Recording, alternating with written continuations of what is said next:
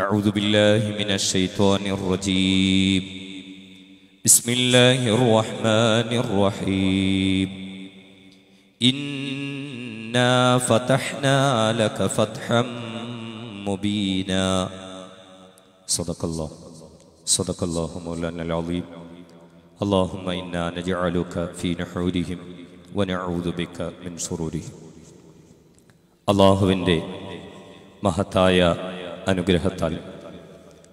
കാസർഗോഡ് ഫലസ്തീൻ ഐക്യദാർഢ്യ സമിതിയുടെ ആഭിമുഖ്യത്തിൽ നടത്തപ്പെടുന്ന ഞാനും എന്റെ കുടുംബവും പോരാടുന്ന ഫലസ്തീൻ ജനതയ്ക്കൊപ്പം ഒരു ദിവസം എന്ന പ്രമേയത്തിൽ നടത്തപ്പെടുന്ന മഹത്തായ പൊതു സമ്മേളനത്തിന്റെ ഭാഗമായി.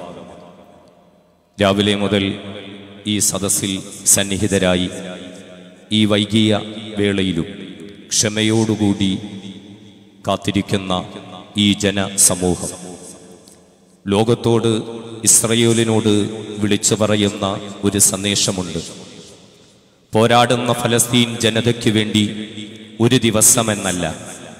ആ പോരാടുന്ന ഫലസ്തീൻ ജനതയ്ക്ക് വേണ്ടി ഒരായുസ് കൊടുക്കാൻ ജീവിതം കൊടുക്കാൻ ആ ഫലസ്തീന് വേണ്ടി മരണം വരിക്കുവാനും ഞങ്ങൾ തയ്യാറാണ് എന്ന് ഉറക്കെ പ്രഖ്യാപിക്കുന്ന ആവേശം തുളുമ്പുന്ന സ്ത്രീകളും കുട്ടികളും സഹോദരങ്ങളും പണ്ഡിതന്മാരും ഒക്കെയടങ്ങുന്ന ഈ ഒരു വേദി.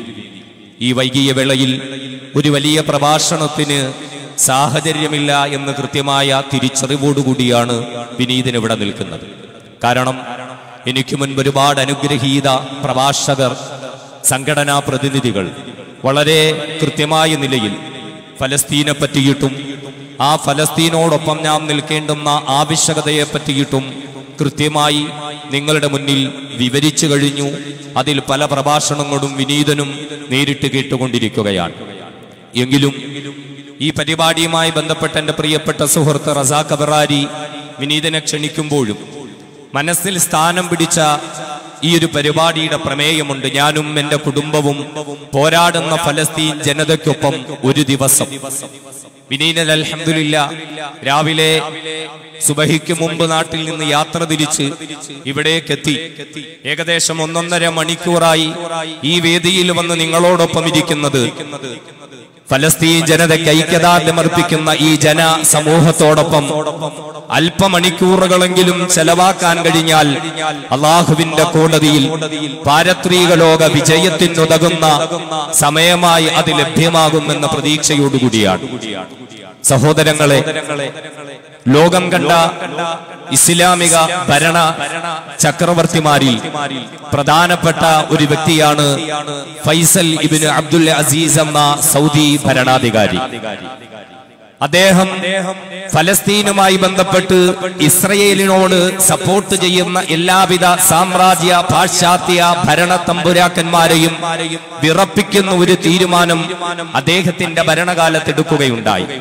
അഥവാ ആരാണോ ഫലസ്തീനെതിരെ ഇസ്രായേലിനോടൊപ്പം നിൽക്കുന്നത് ആ രാജ്യങ്ങൾക്കൊന്നും ഇനി സൗദിയിൽ നിന്നും എണ്ണ നൽകേണ്ടുന്നതില്ല.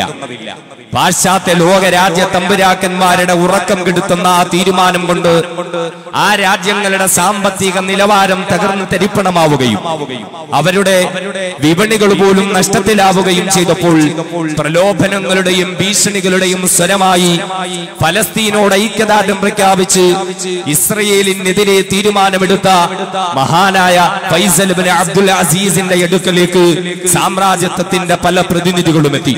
പക്ഷേ അതിന്റെയൊന്നും മുന്നിൽ അടിപതറി പോകുന്ന ഒരു വ്യക്തിത്വത്തിനുടമയായിരുന്നില്ല അദ്ദേഹം. അവസാനം അമേരിക്കയുടെ ഭാഗത്തു നിന്നും അറിയിപ്പുണ്ടായി. സൗദിയിൽ നിന്ന് ഞങ്ങൾക്ക് ഇന്ധനം നൽകിയില്ല എങ്കിൽ ഞങ്ങളുടെ ഒരു സൈന്യം തന്നെ ആ രാജ്യത്തേക്ക് വരികയും നിങ്ങളുടെ കയ്യിൽ നിന്ന് ഞങ്ങൾ എണ്ണ പിടിച്ചു വാങ്ങുകയും ചെയ്യും. മഹാനായ ഫൈസൽ രാജാവ് തിരിച്ച് അമേരിക്കയോട് പറഞ്ഞത് നിങ്ങൾക്ക് ധൈര്യമുണ്ടെങ്കിൽ സൗദി അറേബ്യയിലേക്ക് വരാം. ഞങ്ങൾ നിങ്ങളെ പ്രതീക്ഷിച്ചു തന്നിരിക്കുകയാണ്. പക്ഷേ നിങ്ങളെങ്ങാനും ഞങ്ങളുടെ നാട്ടിലേക്കൊന്ന് ചുവട് വെച്ചാൽ ഞങ്ങളുടെ എണ്ണപ്പാടങ്ങൾക്ക് മുഴുവനും ഞങ്ങൾ തീ കൊളുത്തു. ഞങ്ങളുടെ എണ്ണപ്പാടങ്ങൾ മുഴുവനും കത്തി നശിക്കും. അതോടൊപ്പം നിങ്ങളും ഇല്ലാതെയാകും. നിങ്ങളൊരു കാര്യം തിരിച്ചറിയണം. സൗദി അറേബ്യയുടെ മണ്ണിൽ നിന്നും ഉൽപ്പാദിപ്പിക്കപ്പെടുന്നതായ ഇന്ധനമില്ലാതെ നിങ്ങൾക്ക് ഒരു ദിവസം പോലും ജീവിക്കാൻ സാധ്യമല്ല എന്ന് ഞങ്ങൾക്ക് കൃത്യമായി അറിയാം. അതുകൊണ്ട് ഞങ്ങൾ പറയുന്നു ഫലസ്തീൻ വിഷയത്തിൽ ഇസ്രയേലിനോടൊപ്പം നിൽക്കുന്ന അമേരിക്ക ഞങ്ങളുടെ നാട്ടിലേക്ക് കടന്നു വന്നാൽ ഞങ്ങളുടെ എണ്ണപ്പാടത്തിന് മുഴുവനും ഞങ്ങൾ തീ കൊളുത്തും. അതിന്റെ പേരിൽ എത്ര വലിയ നഷ്ടങ്ങൾ ഉണ്ടായാലും അതിന്റെ പേരിൽ എത്ര വലിയ നാശങ്ങൾ ഉണ്ടായാലും അതൊന്നും ഞങ്ങൾക്കൊരു പ്രശ്നമല്ല. നിങ്ങൾക്കറിയുമോ? ഞങ്ങളുടെ പൂർവികന്മാർ ഈത്തപ്പഴം കഴിച്ചു വളർന്നവരാണ്. ഒട്ടകപ്പാലും ആട്ടിൻപാലും കുടിച്ചു വളർന്നവരാണ്. ഞാ ജീവിതത്തിലേക്ക് മടങ്ങാൻ ഞങ്ങൾക്കൊരു പ്രശ്നവുമില്ല. നിങ്ങൾക്കാണ് ഞങ്ങളുടെ എണ്ണയില്ലാതെ ഒരു ദിവസം പോലും കഴിയാൻ പറ്റാത്തത്. പാൽ കുടിച്ചിട്ട് ഈത്തപ്പഴം കഴിച്ചിട്ട് ഞങ്ങളുടെ പൂർവികന്മാരുടെ മാർഗത്തിലൂടെ ഞങ്ങൾ ജീവിച്ചോളാമെന്ന് ഫലസ്തീൻ വിഷയത്തിൽ കൃത്യമായ ധീരമായ നിലപാടെടുത്തുകൊണ്ട് മഹാനായ Faisal bin Abdul Aziz America ഉൾപ്പെടെയുള്ള സാമ്രാജ്യ രാജ്യങ്ങൾക്ക് മറുപടി നൽകുകയുണ്ടായി. സഹോദരങ്ങളെ ഇദ്ദേഹത്തെ എങ്ങനെയെങ്കിലും ഒന്ന് പ്രലോഭിപ്പിക്കണമെന്ന ആഗ്രഹത്തോടുകൂടി അന്നത്തെ അമേരിക്കയുടെ വിദേശകാര്യ വക്താവായിരുന്ന ഹെൻറി കിസിഞ്ചർ എന്ന വ്യക്തി അദ്ദേഹത്തിന്റെ സ്വന്തം വിമാനത്തിൽ ജിദ്ദയിൽ മഹാനായ ഫൈസൽ രാജാവിനെ കാണാനെത്തി. ദേഷ്യത്തോടെയും അമർഷത്തോടെയും ഇരിക്കുന്ന ഫൈസൽ രാജാവിന്റെ മുന്നിലേക്ക് വന്നിട്ട് ഹെൻറി കിസിഞ്ചർ ഒരു തമാശ രൂപയോണ പറഞ്ഞു ഞാൻ എന്റെ സ്വന്തം വിമാനത്തിലാണ് വന്നിരിക്കുന്നത്. എന്റെ വിമാനത്തിൽ ഇന്ധനം തീർന്നിരിക്കുകയാണ്. എന്റെ വിമാനം നിറയ്ക്കാൻ നിങ്ങളൊന്ന് ഇന്ധനം തരണം എത്ര പണം വേണമെങ്കിലും ഞാൻ നിങ്ങൾക്ക് തരാം. തമാശ രൂപേനയാണ് ഹെൻറി കിസിഞ്ചർ അത് പറഞ്ഞതെങ്കിലും പൈസൽ മഹാരാജാവ് ആ തമാശയ്ക്ക് ചെവി കൊടുത്തില്ല. അദ്ദേഹം അന്ന് തിരിച്ചു പറഞ്ഞ ഒരു മറുപടിയുണ്ട്. ഹേ ഹെൻറി കിസിഞ്ചർ നിങ്ങൾക്ക് വേണ്ടത് ഇന്ധനമാണ് എങ്കിൽ നിങ്ങൾക്ക് വേണ്ടത് പെട്രോളും ഡീസലുമാണ് എങ്കിൽ അത് തരാൻ സൗദിയുടെ ഭരണചക്രവർത്തിയായ അബ്ദുൽ അസീസിന്റെ മകനായ ഫൈസൽ തയ്യാറാണ്. പക്ഷേ ഞാൻ നിങ്ങളോട് തിരിച്ചു ചോദിക്കുന്നത് നിങ്ങൾക്ക് എനിക്ക് തരാൻ സാധ്യമാകുമോ? ഞാനൊരു വയോവൃദ്ധരാണ് ഞാൻ ഇപ്പോഴും ആഗ്രഹിക്കുന്നത് ആ ഫലസ്തീന്റെ മണ്ണിന് സ്വാതന്ത്ര്യം കിട്ടി. ആ സ്വതന്ത്ര ഫലസ്തീനിലെ ബൈത്തുൽ മുഖദ്സിൽ കയറി രണ്ട് റക്കാത്തൊന്ന് നിസ്കരിക്കാൻ ആഗ്രഹിക്കുന്ന ഒരു വയോവൃദ്ധനായ മനുഷ്യനാണ് ഞാൻ. ആ ഫലസ്തീനിന് സ്വാതന്ത്ര്യം നൽകിയിട്ട് ബൈത്തുൽ മുഖദ്സിനെ എനിക്ക് തിരിച്ചു തരാൻ നിങ്ങൾ തയ്യാറാണോ? എങ്കിൽ നിങ്ങൾക്ക് ഇന്ധനം തരാൻ ഞാനും തയ്യാറാണ് എന്ന് അമേരിക്കയുടെ വിദേശകാര്യ വക്താവിന്റെ മുഖത്ത് നോക്കിയിട്ട് ഫൈസൽ രാജാവ് ഉച്ചസ്ഥലം പ്രഖ്യാപിച്ചുവെങ്കിൽ ദിവസങ്ങൾക്കുള്ളിൽ അദ്ദേഹം ഈ ലോകത്ത് നിന്ന് വിട പറയുകയുണ്ടായി. സഹോദരങ്ങളെ ഇത് പറഞ്ഞതെന്താണ് ഈ പാതിരാത്രിയുടെ നിശബ്ദതയിൽ രാവിലെ ഒൻപത് മണി മുതൽ ഇപ്പോൾ ഏകദേശം പന്ത്രണ്ട് മണിക്കൂറിലധികമായി ഫലസ്തീനോട് ഐക്യദാർഢ്യം പ്രഖ്യാപിച്ചുകൊണ്ട് ഏഷ്യ വൻകരയിലെ ഇന്ത്യ മഹാരാജ്യത്തിലെ കേരള സംസ്ഥാനത്തിലെ കാസർഗോഡ് ജില്ലയിലെ ഈ അണങ്കൂർ പ്രദേശത്ത് ഈ നൂറുകണക്കിന് സ്ത്രീകളും കുട്ടികളും പുരുഷന്മാരും ഒന്നു ചേർന്നിരിക്കുന്നതും ഇതേ ആവശ്യത്തിന് വേണ്ടിയിട്ടാണ്. നാം ഇവിടെ ഒന്നു ചേർന്നിരിക്കുന്നത് നമ്മുടെ എന്തെങ്കിലും സാമ്പത്തിക നേട്ടത്തിന് വേണ്ടിയിട്ടല്ല. നാം ഇവിടെ ഒന്നു ചേർന്നിരിക്കുന്നത് നമ്മുടെ ഏതെങ്കിലും രാഷ്ട്രീയ നേതൃത്വത്തിന് വേണ്ടിയിട്ടല്ല. നാം ഇവിടെ ഒന്നു ചേർന്നിരിക്കുന്നത് നമ്മുടെ മറ്റേതെങ്കിലും നിലനിൽപ്പിന്റെ ആവശ്യത്തിന് വേണ്ടിയിട്ടല്ല. ഇസ്രയേലിനോട് നമുക്ക് പറയാനുള്ളത് സാമ്രാജ്യ ശക്തികളോട് നമുക്ക് പറയാനുള്ളത് ഇന്ത്യ രാജ്യത്ത് നിന്നും അവർക്ക് വേണ്ടി ഓശാനവാടുന്നതായ ഈ രാജ്യത്തെ ഏറ്റവും വലിയ വർഗീയതയുടെ വക്താക്കളായ സംഘപരിവാരത്തിനോട് ഞങ്ങൾക്ക് പറയാനുള്ളത്. ഞങ്ങൾ ഇവിടെ ഒന്നു ചേർന്നിട്ട് താൽക്കാലികമായി പിരിഞ്ഞു പോവുകയാണ്. പക്ഷേ ഞങ്ങളുടെ മനസ്സിൽ ഞങ്ങൾക്കൊരു താല്പര്യമുണ്ട്. ഞങ്ങളുടെ മനസ്സിൽ ഞങ്ങൾ ഒരു മിമ്പർ പണിത് വെച്ചിട്ടുണ്ട്.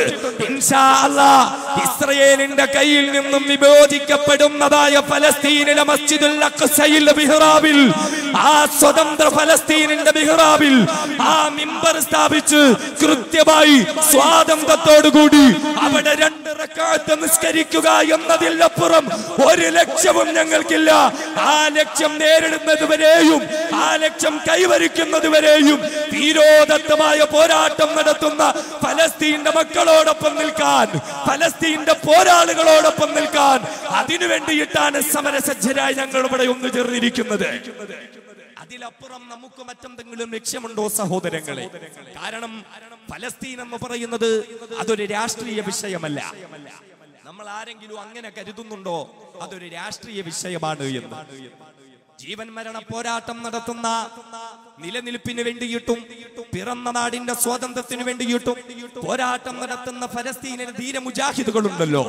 എന്റെ പ്രിയപ്പെട്ട സഹോദരങ്ങളെ അതൊരു രാഷ്ട്രീയമായി നമ്മൾ കാണേണ്ടുന്നതല്ല. അത് കേവല രണ്ട് രാജ്യങ്ങൾക്കെതിരെയുള്ള പോരാട്ടമായി നമ്മൾ കാണേണ്ടുന്നതല്ല. മറിച്ച് ഫലസ്തീൻ നമ്മുടെ വിശ്വാസവുമായി ബന്ധപ്പെട്ട് കിടക്കുകയാണ്. ഫലസ്തീൻ നമ്മുടെ ആദർശവുമായി ബന്ധപ്പെട്ട് കിടക്കുകയാണ്. ഫലസ്തീൻ ഇസ്ലാമിന്റെ ചരിത്രവുമായി ബന്ധപ്പെട്ട് കിടക്കുകയാണ്. ഫലസ്തീൻ ഇസ്ലാമിന്റെ സംസ്കാരവുമായി ബന്ധപ്പെട്ട് കിടക്കുകയാണ്. എന്താ സഹോദരങ്ങളെ ഫലസ്തീൻ എന്ന് പറഞ്ഞാൽ? മഹാനായ ഖലീലുള്ളാഹി ഇബ്രാഹിം നബി അലൈഹി വസ്സലാമിന്റെ ചരിത്രങ്ങൾ ഉറങ്ങുന്ന ഫലസ്തീൻ. ഇസ്ഹാഖ് നബി അലൈഹി സ്വലാത്തു വസ്സലാമിന്റെ ചരിത്രങ്ങൾ ഉറങ്ങുന്ന ഫലസ്തീൻ. മഹാനായ ദാവൂദ് നബി അലൈഹി സ്വലാത്തു വസ്സലാമിന് അല്ലാഹു റബ്ബുൽ ഇസ്സത്ത് അധികാരം കൊടുത്തു അധികാരത്തിന്റെ മിഹ്റാബ് പണിഞ്ഞ ചരിത്ര പാരമ്പര്യമുള്ള ഫലസ്തീൻ ലോകം മുഴുവനും അടക്കി വാണിരുന്നതായ സുലൈമാൻ നബി അലൈഹി സ്വലാത്തു വസ്സലാമിന്റെ ആസ്ഥാന ഭരണ സിരാ കേന്ദ്രമായിരുന്ന ഫലസ്തീൻ. മഹാനായ ഷുഐബ് നബി അലൈഹി സ്വലാത്തു വസ്സലാമിന്റേതായ പലായനത്തിന്റെയും വിജയത്തിന്റെയും ചരിത്രങ്ങൾ ഉറങ്ങുന്ന ഫലസ്തീൻ. നബി അലൈഹി ചരിത്രങ്ങൾ ഉറങ്ങുന്ന ഫലസ്തീൻ. മഹാനായ ദാവൂദ് അലൈഹി ചരിത്രങ്ങൾ ഉറങ്ങുന്ന ഫലസ്തീൻ. വസ്സലാമിന്റെ ജന്മം കൊണ്ട് അനുഗ്രഹിക്കപ്പെട്ടിരിക്കുന്ന ഫലസ്തീൻ മറിയം അലൈഹസ്സലാമിന്റെ ചരിത്രങ്ങൾ ഉറങ്ങുന്ന ഫലസ്തീൻ. എന്റെ പ്രിയപ്പെട്ട സഹോദരങ്ങൾ അങ്ങനെ ഒരുപാട് ഒരുപാട് ഒരുപാട് പ്രവാചകന്മാരുടെ ചരിത്ര പാരമ്പര്യങ്ങൾ ഉറങ്ങിക്കിടക്കുന്ന ഫലസ്തീൻ. യസ്റാ മിനൽ മസ്ജിദിൽ ഹറാം. ഇലൽ മിൻ ഹബീബായ മുത്തറസൂലിന്റെ ജീവിത ചരിത്രത്തിലെ ഏറ്റവും വലിയ പരീക്ഷണങ്ങളും പ്രശ്നങ്ങളും നേരിടേണ്ടി വന്നു. ചരിത്രത്തിന്റെയും നിലകളിൽ പ്രവാചകന്മാരുടെ ചരിത്രം രേഖപ്പെടുത്തിയ ചരിത്രകാരന്മാർ അതേ ദുഃഖവർഷമെന്ന് രേഖപ്പെടുത്തിയ ഒരു കാലഘട്ടമുണ്ടല്ലോ. അള്ളാഹുവിന്റെ പ്രിയപ്പെട്ട ഹബീബ് കർബാലയത്തിന്റെ ചാരത്തും അള്ളാഹുബൻഹയുടെ വീടിന്റെ ചാരത്ത് കിടന്നുറങ്ങുമ്പോ ആരായ ജിബിരിയിൽ വന്നു വിളിക്കുന്നു വരിക ഹബീബേ. ലോകത്തെ ഏറ്റവും അത്യാധുനിക സജ്ജീകരണങ്ങളുള്ള ബുറാക്കെന്ന വാഹനം പുറത്തേറിക്കൊണ്ട് അള്ളാഹുവിന്റെ ഹബീബ് മസ്ജിദ് അൽ ഹറാമിൽ നിന്ന് ഏത് മസ്ജിദുൽ അഖസയിലേക്ക് പ്രയാണം നടത്തിയോ? ആ മസ്ജിദുൽ അഖസ സ്ഥിതി ചെയ്യുന്ന ഫലസ്തീൻ. പവിത്രതയുടെ കാര്യത്തിൽ ഇസ്ലാമിന്റെ ചരിത്രത്തിൽ മൂന്നാമത്തെ സ്ഥാനം നിലനിൽക്കുന്നതായ മസ്ജിദുൽ സ്ഥിതി ചെയ്യുന്നതായ ഫലസ്തീൻ. ഇസ്ലാമിന്റെ ചരിത്രത്തിൽ നിസ്കാരം നിർബന്ധമാക്കപ്പെടുമ്പോൾ ആദ്യത്തെ കിവിലയായി നിശ്ചയിക്കപ്പെട്ടിരിക്കുന്നതായ മസ്ജിദുൽ സ്ഥിതി ചെയ്യുന്നതായ ഫലസ്തീൻ. ഏതൊരു മസ്ജിദുൽ നിസ്കരിച്ചാൽ നിങ്ങൾക്ക് ഇരട്ടി ഇരട്ടി പ്രതിഫലം കിട്ടുമെന്ന് മുത്തൊളി മുഹമ്മദ് വസല്ലമ തങ്ങൾ പഠിപ്പിച്ചോ. അങ്ങനെയുള്ളതായ പവിത്രതയുടെ പാരമ്പര്യം ഉറങ്ങിക്കിടക്കുന്ന മസ്ജിദുൽ അഖ്സ സ്ഥിതി ചെയ്യുന്നതായ ഫലസ്തീൻ. എന്റെ പ്രിയപ്പെട്ട സഹോദരങ്ങൾ ഇസ്ലാമിൽ ഇന്നോളം നടത്തപ്പെട്ടിട്ടുള്ള അതി അതിഭയങ്കരമായ ജീവൻ മരണ അതിജീവന പോരാട്ടത്തിന്റെ ചരിത്രങ്ങൾ ഉറങ്ങുന്ന ഫലസ്തീൻ.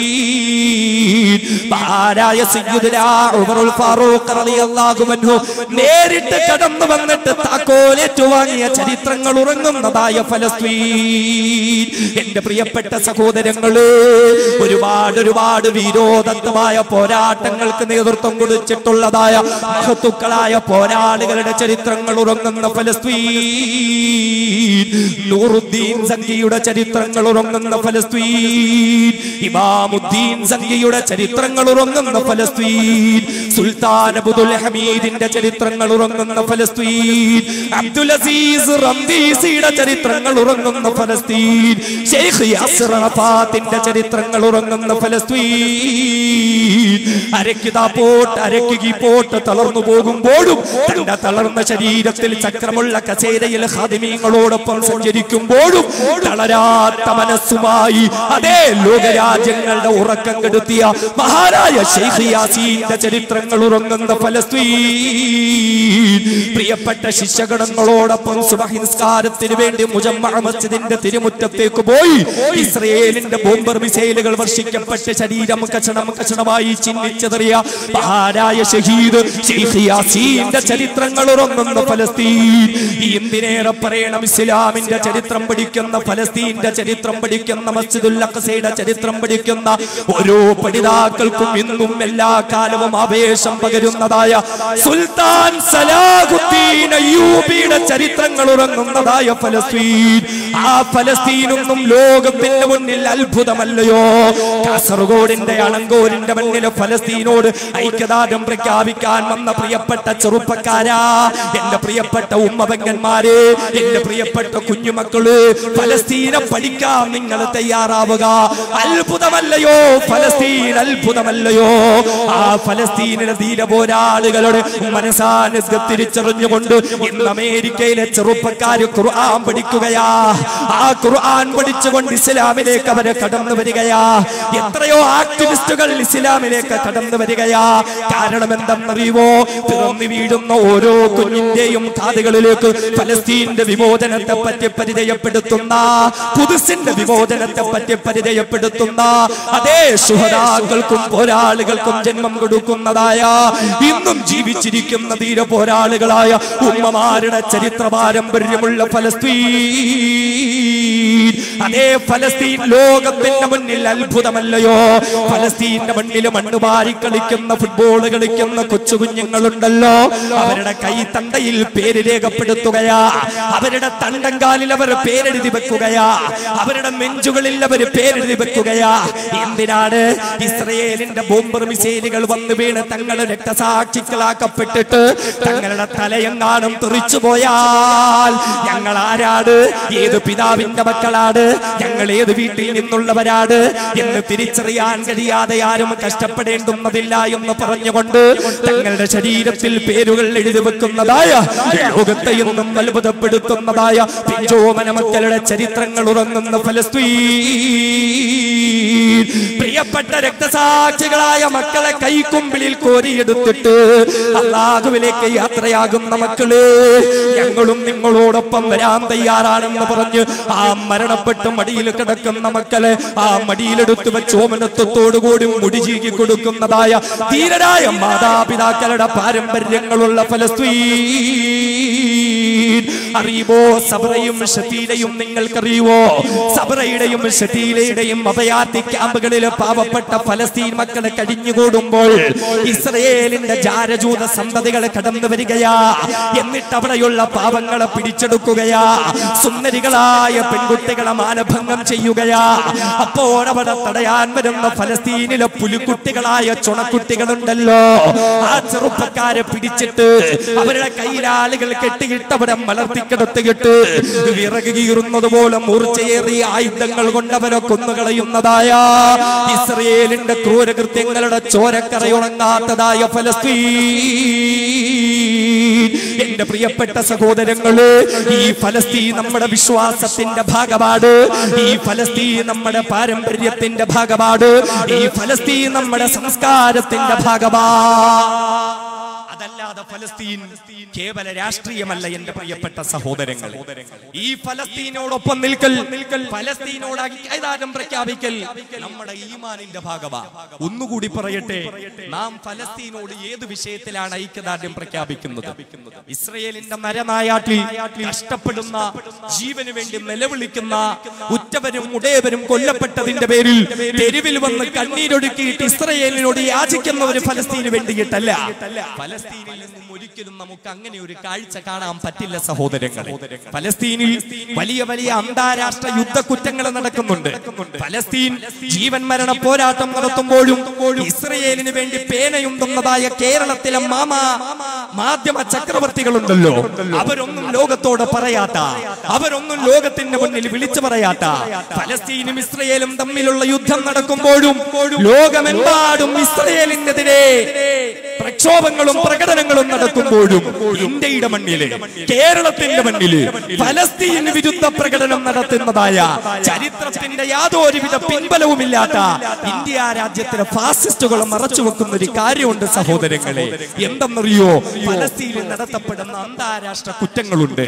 ലോക രാജ്യങ്ങൾക്കിടയിൽ ചില കരാറുകൾ നിലനിൽപ്പുണ്ട്.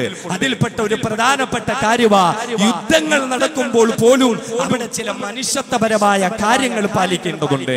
എന്റെ സഹോദരങ്ങളെ കുഞ്ഞുങ്ങളെ കൊല്ലാൻ പാടില്ല. ആശുപത്രി കെട്ടിടങ്ങൾ തകർക്കാൻ പാടില്ല. സ്കൂളുകൾ തകർക്കാൻ പാടില്ല. ആരാധനാലയങ്ങൾ തകർക്കാൻ പാടില്ല.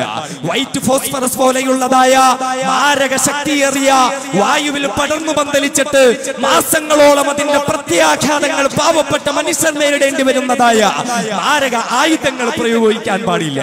എന്നാൽ ഫലസ്തീന്റെ മണ്ണിൽ ഇസ്രയേൽ ഇതൊക്കെ നടത്തിക്കൊണ്ടിരിക്കുമ്പോഴും ആറായിരത്തോളം പാവപ്പെട്ട പിഞ്ചോമന മക്കളെ കൊന്നൊടുക്കിയില്ലേ പതിനായിരക്കണക്കിന് പാവപ്പെട്ട സ്ത്രീജനങ്ങളെ കൊന്നൊടുക്കിയില്ലേ ആശുപത്രി കെട്ടിടങ്ങൾ പോലും തകർത്ത് തരിപ്പണമാക്കിയില്ലേ? വിദ്യാലയങ്ങൾ തകർത്ത് തരിപ്പണമാക്കിയില്ലേ? പാവപ്പെട്ട പ്രിയപ്പെട്ട ഉമ്മപങ്ങന്മാരെ സഹോദരിമാരെ കൊന്നൊടുക്കിയില്ലേ? ഇങ്ങനെ വലിയ വലിയ യുദ്ധക്കുറ്റങ്ങൾ നടത്തപ്പെടുമ്പോഴും അന്താരാഷ്ട്ര യുദ്ധ നിയമങ്ങൾ ലംഘിക്കപ്പെടുമ്പോഴും ഇവിടെയുള്ള ഒരു മാധ്യമങ്ങളും അത് ലോകത്തിന്റെ മുന്നിൽ തുറന്നു പറയാതിരിക്കുമ്പോഴും എന്റെ പ്രിയപ്പെട്ട സഹോദരങ്ങളെ ഇതൊക്കെ ഒരു ഭാഗത്ത് നടക്കുമ്പോഴും നാം ഒന്ന് തിരിച്ചറിയണം. ഫലസ്തീനിൽ നിന്നും ഏതെങ്കിലും ഒരു മനുഷ്യരും അല്ലെങ്കിൽ ഫലസ്തീനിലെ ഭരണാധികാരികൾ അല്ലെങ്കിൽ ഫലസ്തീനിലെ സൈനിക മേധാവികൾ അല്ലെങ്കിൽ ഫലസ്തീനിലെ രാഷ്ട്രീയക്കാര് ആരെങ്കിലും ലോകത്തിന്റെ മുന്നിൽ വന്നിട്ട് ക്യാമറയുടെ മുന്നിൽ വന്നിട്ട് ഞങ്ങളെ രക്ഷിക്കണമെന്ന് പറഞ്ഞ് കൈകൂപ്പിയിട്ടില്ല.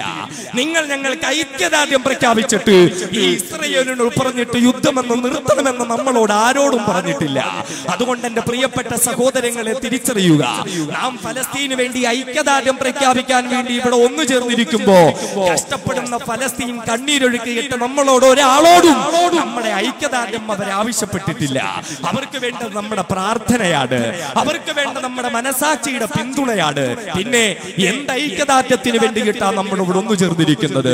സഹോദരങ്ങൾ കഴിഞ്ഞ മാസം ഒക്ടോബർ ഏഴാം തീയതി മുതൽ ഈ നവംബർ ഇരുപത്തിയാറാം തീയതി വരെ നമ്മൾ നിൽക്കുമ്പോൾ അൻപത് ദിവസത്തിന്റെ കൃത്യമായ കണക്കുകൾ നമ്മുടെ മുന്നിലുണ്ട്. പോരാട്ടം നടത്തപ്പെട്ടു.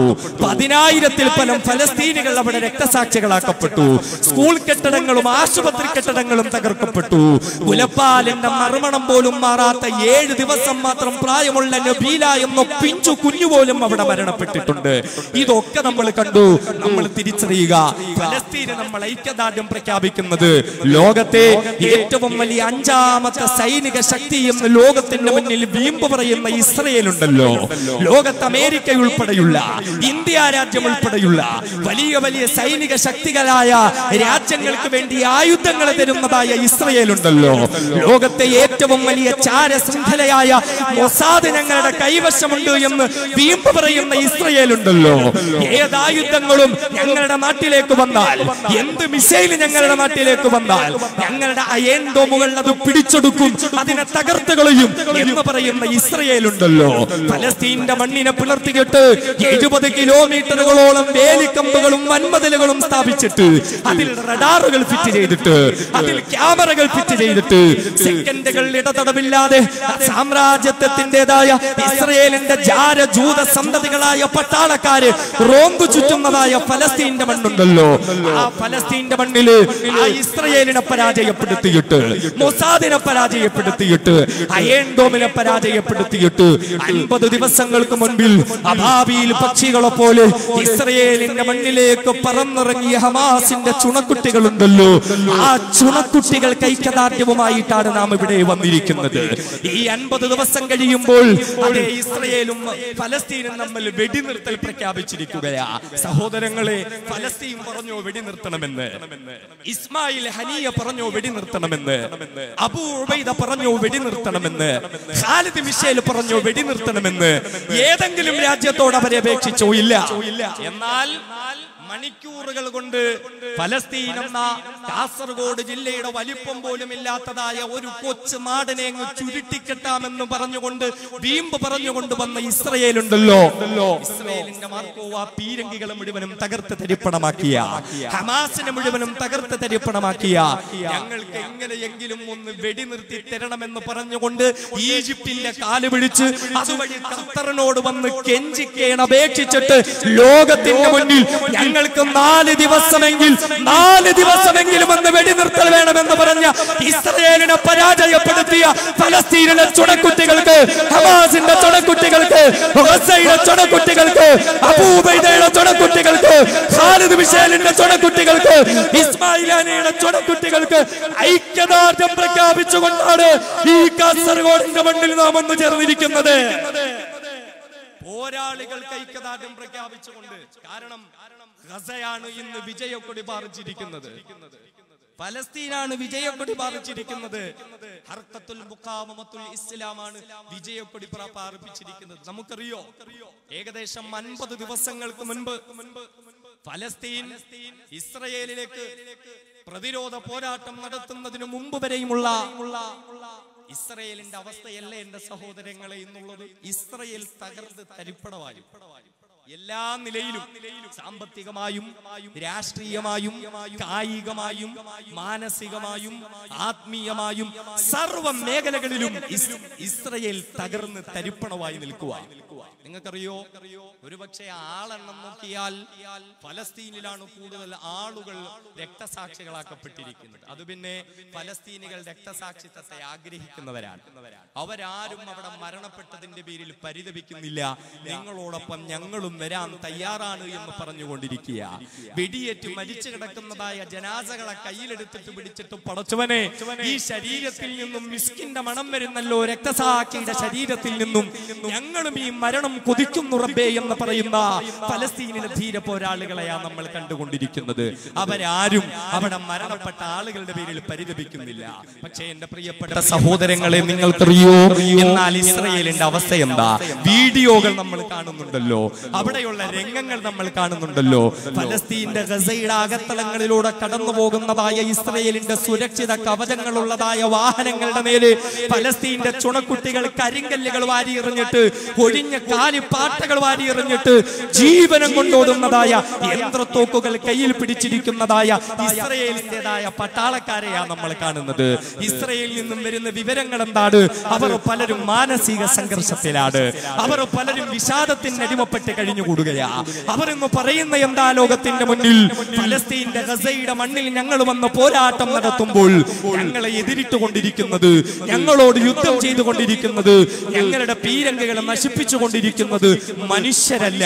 പിന്നെയോ കുറെ പ്രേതങ്ങൾ വന്നിരിക്കുകയാ. പിച്ചും പേയും പറയുന്ന പ്രേതങ്ങളെ പോലെ ഫലസ്തീന്റെ ധീരപോരാളികളെ ഭയപ്പെട്ടുകൊണ്ടിരിക്കുന്ന ഇസ്രയേലിന്റെ പട്ടാളക്കാരെയായ എന്റെ പ്രിയപ്പെട്ട സഹോദരങ്ങളെ നമ്മൾ കണ്ടുകൊണ്ടിരിക്കുന്നത്.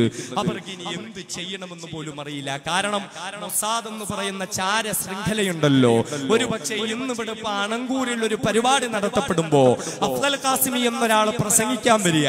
എന്നെ പറ്റി അവർക്കൊന്ന് അന്വേഷിച്ചറിയണമെങ്കിൽ വിനീതം ധരിച്ചിരിക്കുന്നതായ ശരീരത്തിൽ എത്ര നൂലിഴകൾ ഉണ്ടെന്ന് പോലും സെക്കൻഡുകൾ കൊണ്ട് കണ്ടുപിടിക്കാൻ പറ്റുന്ന സംവിധാനങ്ങളുണ്ട് എന്ന് പറയുന്നതായ മൊസാദ് ഉണ്ടല്ലോ എന്റെ സഹോദരങ്ങളെ പലസ്തീനുമായുള്ള പോരാട്ടത്തിനിടയിൽ മൊസാദിന്റെ ചില പട്ടാളക്കാര് ഹമാസ് പോരാളികളെ പോലെ വേഷം ധരിച്ചിട്ട് ഫലസ്തീനിനുള്ളിലേക്ക് നുഴഞ്ഞു കയറിയിട്ട് ബന്ദികളെ എവിടെയാണ് ഒളിപ്പിച്ചു വെച്ചിരിക്കുന്നത് എന്ന് അന്വേഷിക്കാൻ വേണ്ടിയിട്ട് ഒരു തന്ത്രം വിനയ നമ്മളൊന്ന് മനസ്സിലാക്കട്ടെ ഹമാസിന്റെ പോരാളികളെ പോലെ വേഷം ധരിച്ചിട്ട് അവർ ഹമാസിന്റെ പോരാളികൾക്കിടയിൽ നുഴഞ്ഞു കയറി. ഈ കാര്യങ്ങളൊക്കെ കണ്ടുപിടിക്കാൻ. പക്ഷെ എന്താണെന്നറിയോ? അവരും നുഴഞ്ഞു കയറി മണിക്കൂറുകൾക്കിടയിൽ ഇസ്രയേലിന്റെ വേഷം ധരിച്ച പട്ടാളക്കാർ അവരെ പിടികൂടി. അവരെ പിടികൂടിയിട്ട് ചോദ്യം ചെയ്യാൻ വേണ്ടി കൊണ്ടുവന്നു. കൊണ്ടുവന്ന സന്ദർഭത്തിൽ ഈ ഇസ്രയേലിന്റെ ഹമാസിന്റെ പട്ടാളക്കാര് ആ പട്ടാളക്കാരെ പോലെ വേഷം ധരിച്ച ഇസ്രയേലിന്റെ പട്ടാളക്കാര് അവർ തങ്ങളെ പിടികൂടിക്കൊണ്ടുവന്ന ഇസ്രയേൽ പട്ടാളക്കാരോട് പറഞ്ഞു ഞങ്ങൾ നിങ്ങളുടെ ആളുകൾ തന്നെയാണ്. ഞങ്ങൾ ഹമാസിന്റെ ആളുകൾ തന്നെയാണ്. നമ്മൾ ഇന്ന ഇന്ന പ്ലാനുകളുമായി വന്നിരിക്കുകയാ. എല്ലാ പ്ലാനുകളും ആ ഇസ്രയേലിന്റെ വേഷം ധരിച്ചു വന്നതായ പട്ടാളക്കാരുടെ മുമ്പിൽ സവിസ്തരം വിവരിച്ചു കഴിഞ്ഞപ്പോഴാ അവർ തിരിച്ചറിഞ്ഞത് തങ്ങളെ പിടിച്ചിരിക്കുന്നത് ഇസ്രയേൽ പട്ടാളമല്ല. തങ്ങളെ പിടിച്ചിരിക്കുന്നത് ഇസ്രയേൽ പട്ടാളത്തിന്റെ വേഷം ധരിച്ചിരിക്കുന്ന ഹമാസ് പോരാളികളാണ്. ചിന്തിച്ചു നോക്കേ ലോകത്തെ ഏറ്റവും വലിയ ടെക്നോളജിയും പരിശീലനവും ഉണ്ടെന്ന് പറഞ്ഞ ഹമാസിന്റെ സർവതന്ത്രങ്ങളും ആ ഹമാസിന്റെ തന്ത്രങ്ങളുടെ മുന്നിൽ മുന്നിൽ മൊസാദിന്റെ സർവ തന്ത്രങ്ങളും പിഴച്ചു പോവുകയാ. മാനസികമായി അവർ തകർന്നു പോയിരിക്കുന്നു. ഇനി സാമ്പത്തികമായ കാര്യം നോക്കിയാലോ? യുദ്ധം തുടങ്ങിയിട്ട് ഒരു മാസം കഴിഞ്ഞപ്പോൾ തന്നെ ഇസ്രയേലിന്റെ സാമ്പത്തിക നിലവാരം തകർന്ന് തരിപ്പണമായി. ഒരൊറ്റ മാസം കൊണ്ട് ഏകദേശം പതിമൂന്നായിരം കോടി ഡോളറിന്റെ സാമ്പത്തിക നഷ്ടം അവർക്കുണ്ടായി. ഇസ്രയേലിലെ പല കമ്പനികളും പൂട്ടിക്കെട്ടി. ലോകം മുഴുവനും ഇസ്രയേലിനെ സാമ്പത്തിക ഉപരോധത്തിൽ ഏർപ്പെട്ടിരിക്കുന്നു. അവിടെയുള്ള പല തൊഴിലാളികളും അവരുടെ തൊഴിൽ നഷ്ടപ്പെട്ട് പാപ്പരായി പോയി. അതിർത്തികളിൽ നിന്നും ഗവൺമെന്റ് തന്നെ ഒഴിപ്പിച്ചിട്ട് പഞ്ചനക്ഷത്ര ഹോട്ടലുകളിൽ താമസിപ്പിച്ചിരിക്കുന്നതായ ഇസ്രയേൽ പൗരന്മാർക്കും മറ്റ് രാജ്യത്തെ പൗരന്മാർക്കും സെറ്റിൽമെന്റ് ചെയ്യാൻ പോലും പറ്റാത്ത നിലയിൽ ഇസ്രയേലിന്റെ സാമ്പത്തികം തകർത്ത് തരിപ്പണമാക്കി. ആര് തകർത്തു? പലസ്തീനവരെ തകർത്തു. ഗസ അവരെ തകർത്തു. ഹമാസ് അവരെ തകർത്തു. രാഷ്ട്രീയമായിട്ട് ഇസ്രയേൽ തകർന്നു പോയില്ലേ? ഇപ്പോഴിതാ ബെഞ്ചമിൻ നെത്തന്യാഹുവിന്റെ വീട്ടിന്റെ മുന്നിൽ ഈ സമയത്തും ഇസ്രയേലിലുള്ള ആളുകൾ സമരം ചെയ്തുകൊണ്ടിരിക്കുകയാണ്. ഒരു പൊതു തെരഞ്ഞെടുപ്പ് തന്നെ മുന്നിലേക്ക് കടന്നു വരുന്ന അവസ്ഥയിൽ രാഷ്ട്രീയമായി ബെഞ്ചമിൻ നെത്തന്യാഹു തകർത്ത് തരിപ്പണമാക്കപ്പെട്ടിരിക്കുന്നു എന്റെ പ്രിയപ്പെട്ട സഹോദരങ്ങൾ എന്ന് മാത്രമല്ല ലോക രാജ്യങ്ങൾ മുഴുവനും മുഴുവനും ഇസ്രയേലിനെതിരാണ്. അൾജീരിയ പോലെയുള്ള ആഫ്രിക്കൻ യൂണിയൻ പോലെയുള്ള ബെലീസ എന്ന് പറയുന്ന ഒരു രാജ്യമുണ്ട്. അവർ പറയുന്നു തങ്ങൾക്ക് ഇനി ഇസ്രയേലുമായിട്ടൊരു ബന്ധമില്ല. ബ്രസീൽ തങ്ങളുടെ അംബാസഡറെ തിരിച്ചു വിളിച്ചിരിക്കുകയാണ്. കൊളംബിയ തിരിച്ചു വിളിച്ചിരിക്കുന്നു. അതേപോലെ മുസ്ലിം രാഷ്ട്രങ്ങൾ Indonesia Iran Iraq Kuwait Morocco Malaysia പോലെയുള്ള രാജ്യങ്ങൾ എന്ന് മാത്രമല്ല മുസ്ലിം രാജ്യങ്ങൾ പോലും എന്റെ പ്രിയപ്പെട്ട സഹോദരങ്ങളെ അയർലൻഡ് പോലെയുള്ള നോർവേ പോലെയുള്ള റഷ്യ പോലെയുള്ള സൗത്ത് ആഫ്രിക്ക പോലെയുള്ള വെനിസുല പോലെയുള്ള രാജ്യങ്ങൾ എല്ലാം തങ്ങളുടെ അംബാസഡർമാരെ തിരിച്ചു വിളിച്ചിരിക്കുകയാണ്. അവർ പറയുന്നു ഇനി ഇസ്രയേലുമായി തങ്ങൾക്കൊരു ബന്ധമില്ല. ലോക ഭൂപടത്തിന്റെ മുന്നിൽ രാഷ്ട്രീയമായി ഇസ്രയേലിനെ ഹമാസ് തകർത്തിരിക്കുന്നു. ഹമാസ് നാണം കെടുത്തിയിരിക്കുന്നു. ആ ഹമാസിനോട് ആ ഗസയോട് ആ ഫലസ്തീനോടുള്ള ഐക്യദാർഢ്യവുമായിട്ടാണ് എന്റെ പ്രിയപ്പെട്ട സഹോദരങ്ങളെ ഈ രാത്രിയുടെ നിശബ്ദതയിൽ നാം ഓരോരുത്തരും വന്നിരിക്കുന്നത്. വീണ്ടും നമ്മൾ നോക്കിയാൽ എന്റെ പ്രിയപ്പെട്ട സഹോദരങ്ങളെ ലോകത്തിന്റെ മുന്നിൽ ഭീകരവാദികളാക്കാൻ വേണ്ടിയിട്ട് ഹമാസിനെ ഭീകരവാദികളാക്കാൻ വേണ്ടിയിട്ട് ഫലസ്തീനെ ഭീകരവാദികളാക്കാൻ വേണ്ടിയിട്ട് ഇസ്രയേൽ ശ്രമിച്ചുവെങ്കിൽ ഇപ്പോ നടക്കുന്നത് എന്താ അമേരിക്കയിൽ ഒരു പുതിയ ട്രെൻഡ് വന്നിരിക്കുകയാണ്. നമുക്കും ഖുർആൻ പഠിക്കാം. ഒരു വലിയ ആക്ടിവിസ്റ്റുകളൊക്കെ ഖുർആൻ പഠിക്കുന്നു. കാരണം എന്താ ഈ തീതുപ്പുന്ന ബോംബർ മിസൈലുകൾ തങ്ങളുടെ മുന്നിലേക്ക് വന്ന് വീഴുമ്പോൾ അതിനെ വെറും ഓലപ്പടക്കത്തിന്റെ ലാഘവത്തോടുകൂടി കണ്ടുകൊണ്ട് കല്ലും കവടയും കയ്യിലേന്തിക്കൊണ്ട് വീരോദത്തമായ പോരാട്ടം നടത്തുന്ന ഫലസ്തീനുകളുണ്ടല്ലോ. ഈ ഫലസ്തീനുകളുടെ വിശ്വാസത്തെ പിന്നിലുള്ള ചാലക ശക്തി എന്താ അത് ഖുർആനാണെന്ന് തിരിച്ചറിഞ്ഞിട്ട് അത് ഇസ്ലാമാണെന്ന് തിരിച്ചറിഞ്ഞിട്ട് ലോകം മുഴുവനും ഇസ്ലാമിലേക്ക് വന്നുകൊണ്ടിരിക്കുമ്പോൾ അവിടെയും ഇസ്രയേൽ തകർന്നുകൊണ്ടിരിക്കുന്നു. അതെ ലോകത്തിന്റെ മുന്നിൽ വെടിനിർത്തൽ ഏറ്റവും അത്യാവശ്യം വേണ്ടിയിരുന്നത് ഇസ്രയേലിന് തന്നെയാണ്. നമുക്കറിയല്ലോ ഒക്ടോബർ ഏഴാം തീയതി ഫലസ്തീന്റെ പോരാളികൾ ഹമാസിന്റെ പോരാളികൾ ഇസ്ലാമിലേക്ക് ഇസ്രയേലിലേക്ക് പറന്നിറങ്ങിയപ്പോ അന്ന് പലരും പറഞ്ഞു ഫലസ്തീൻ ഇതാ ചെറുതു കൊടുത്തിട്ട് വലുത് വാങ്ങാൻ പോവുകയാണ്. അല്ലേ? ഫലസ്തീൻ ചെറുതു കൊടുത്ത് വലുതു വാങ്ങാൻ പോകുന്നു. ആ പറഞ്ഞതുപോലെ തന്നെ വലിച്ചു. ചെറുതു കൊടുത്തിട്ട് ഫലസ്തീൻ വലുതു വാങ്ങുക. അൻപത് ബന്ദികളെ ഫലസ്തീൻ ഇവിടുന്ന് അങ്ങോട്ട് തരും.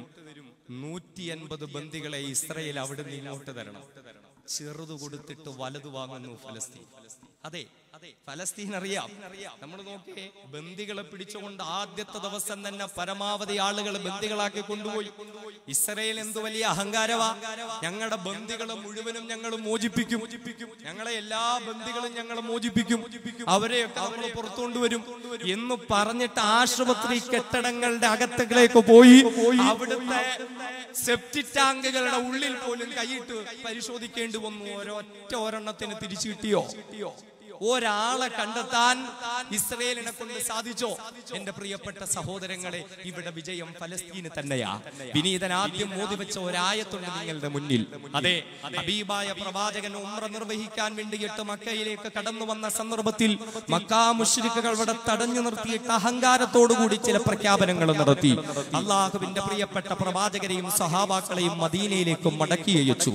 അന്ന് മുഷിരിക്കുകൾ പറയുന്ന മുഴുവൻ ഡിമാൻഡുകളും അംഗീകരിച്ചുകൊണ്ട് അള്ളാഹുവിന്റെ റസൂൽ മടങ്ങിപ്പോകുമ്പോൾ മഹാനായ ഉമറുൽ ഫാറൂഖ് റളിയല്ലാഹു അൻഹുവിനെ പോലെയുള്ളവർക്കൊന്നും അംഗീകരിക്കാൻ പറ്റിയില്ല. അവസാനം റസൂലിന്റെ തീരുമാനമല്ലേ?